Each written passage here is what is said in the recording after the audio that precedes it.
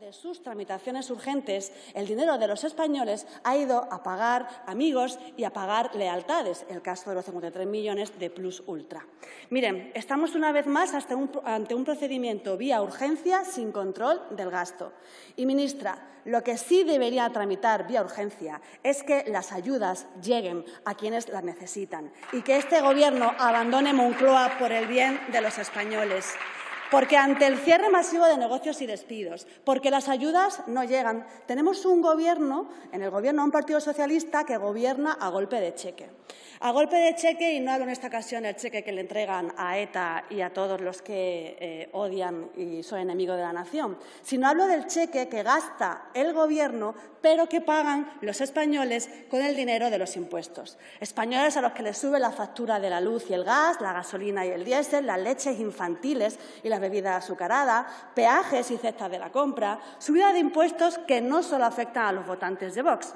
Y muchos votantes socialistas y votantes de Podemos y de otras formaciones estarán de acuerdo conmigo en que cuesta mucho ganar cada céntimo para que el político de turno haga una mala gestión o lo despilfarre. Y hablar de despilfarro es hablar del Partido Socialista que en Andalucía se gastó el dinero de los desempleados en prostitutas y en cocaína. Le recuerdo el caso de los ERE, el que 21 ex altos cargos del Gobierno autonómico se sentaron en el banquillo de los acusados y que supuso un coste de 680 millones de euros a las arcas públicas sin que hubiera ningún control según Anticorrupción.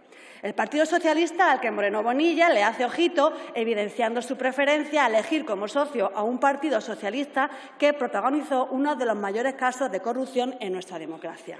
Amigo de los sindicatos de las mariscadas que abandona a trabajadores. Un partido, el de la Nación, que gobierna en base al despilfarro. El mayor número de asesores, el mayor número de ministerios, las ayudas que no llegan.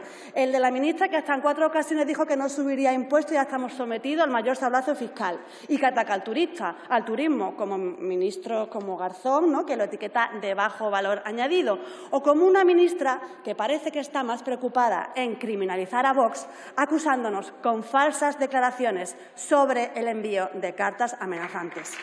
Ministra, usted dijo, todos los demócratas estamos amenazados de muerte si no paramos a Vox en las urnas. Frente a tal delito de odio y delito de injurias y calumnias, que están penados en el Código Penal, Vox presentó una eh, querella.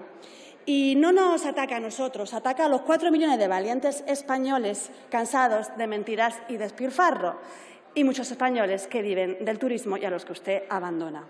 La ministra ha empezado su intervención indicando que la Organización Mundial del Turismo, esta asamblea, se celebra en Madrid tras la renuncia de Marruecos como muestra de apoyo a Marruecos, cosa que me sorprende porque en el decreto decía España muestra su apoyo a la OMT.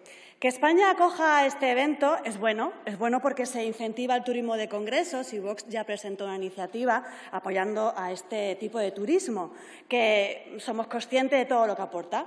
Quienes viajan contratan agencias de viajes, alojan nuestros hoteles y alojamientos turísticos, eh, se trasladan a nuestros taxis, coches, autobuses, coches de alquiler, trenes o aviones, disfrutan de nuestros bares y restaurantes o incluso compran en tiendas de souvenirs y otro tipo de tiendas. La cuestión no es si esta asamblea es interesante o no. La cuestión es, y la cuestión de fondo, es la forma en la que este Gobierno actúa. Una vez más, asistimos a un nuevo capítulo, Sánchez y compañía, a base de decretazos y dedazos. Y lo digo porque ya hemos visto cómo a golpe de decretazo cercenó este Gobierno derechos y libertades, secuestrándonos en nuestras casas e incluso impidiendo trabajar a los españoles, condenándolos a la ruina y a la miseria, algo que Vox denunció y que el Tribunal Constitucional nos ha dado la razón.